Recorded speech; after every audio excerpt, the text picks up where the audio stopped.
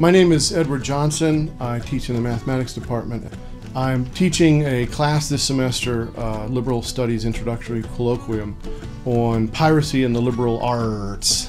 It's a look at the golden age of piracy in the early 18th century from a variety of perspectives, uh, looking at the economics, the politics, uh, what created this, this moment in time.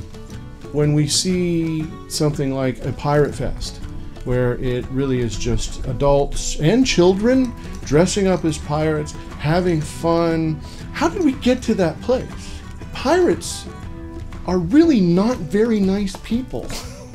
They're really horrible people, and they are now celebrated as cultural icons. What my goal has always been with this course is to get the students to look at what they see in popular culture and think about where it came from. How did we get to that place? Uh, how is it different from reality? To apply their critical thinking skills to analyze this topic. That's how you got to be a pirate captain.